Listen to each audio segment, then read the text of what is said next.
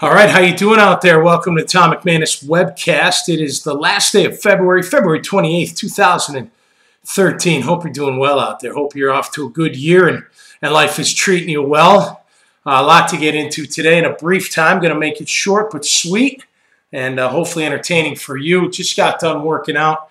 You know, one, once in a while you need those those those meathead just lifting weights, moving the whole time, stretching the whole time kind of workouts and Definitely got one of those. Finish with the wheel.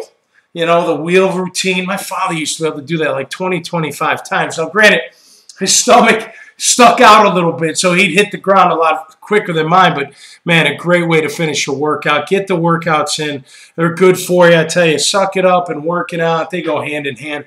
Uh, we know this without question. Uh, had a great time up in in uh, Memphis, Tennessee. What a school at Presbyterian Day School, a private all-boy K through six uh, grammar school. Uh, five full-time PE teachers, and they they take PE every single day. When I got home, I asked my daughters if they take PE. The third grader does. The sixth grader only takes it once a week, and never has recess, never goes outside, never running around. Remember back in, that's all we did. We, you'd eat lunch, you'd go outside, you play ball, you run around, you chase the girls, whatever the case may be. I tell you, not really uh, happy about hearing that at, at our school. I know that happens a lot, and I know a lot of it has to do with budgets, which which totally sucks. We've got to do something about that, private and public.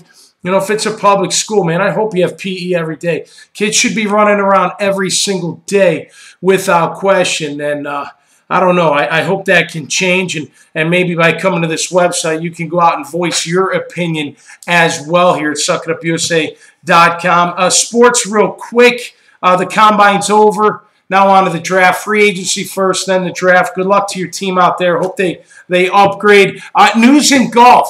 You know, I'm glad Tiger spoke out. I'm glad some other guys spoke out about those belly putters. I don't like them. It makes it easier. At, at the end of the day, that's what it does. Yeah, wouldn't it be nice to be able to ground your putter so you can keep it in a in a straight line a little bit easier? No kidding. Of course, who wouldn't want that? Look, I don't know if it's cheating because they, they've allowed it in the PGA Tour, but I do think it's weak, and I do think it gives you an advantage. So get rid of the belly putters. Go back to the old style. Part of the deal with putting is being able to keep that thing straight, keeping it under control, and not letting the nerves get to you. So stop the wussification, PGA and get rid of the belly putters. Hey, thanks for joining me here on the webcast. Going to be doing more of these, short but sweet and to the point. Have a great day today. Suck it up and be great. No matter what, it's up to you without question. And uh, we'll see you next time right here. Hug the ones you love. Tell them you love them because you never know what tomorrow's going to bring. We'll see you next time right here at TomMcManus.com,